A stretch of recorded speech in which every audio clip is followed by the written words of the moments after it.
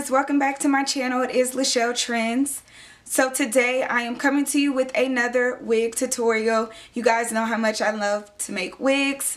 Um, today this hair was sent to me from samsbeauty.com.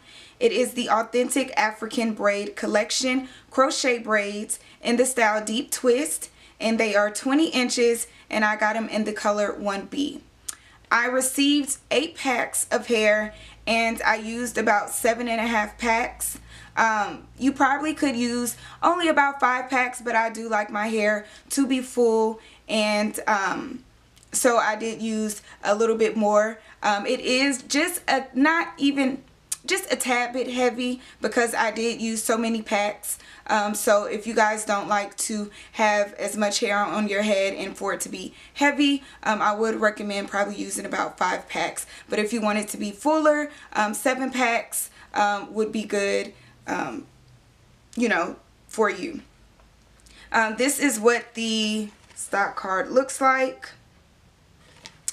And yes, uh, we're going to go ahead and just jump right into the video. Uh, but before we do, if you're not subscribed to my channel, please go ahead and hit the subscribe button now.